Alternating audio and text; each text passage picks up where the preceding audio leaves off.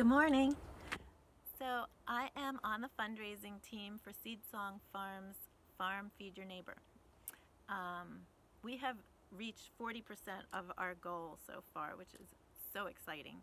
And we need you to help us get all the way to the big goal, which will help us feed 100 families this coming season who are struggling with food insecurity um, during this time. And um, we are not uh, just feeding people, giving them a box of food and saying, see you later. We are actually inviting these families to join our community, to be part of our farm um, activities and events.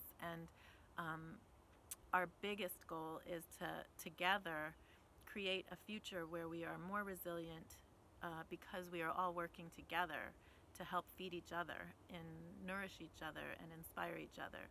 And so this big, big vision is what we're really working towards and we need you and invite you to be a part of it. So I am going to sing a song. Um, it's called Red Wing Blackbird. And if you like it and you feel inspired by the song or by this whole idea and you want to be a part of it, um, please donate whatever you can and or share this page with your friends and family. Together we will create a new future where everyone has what they need.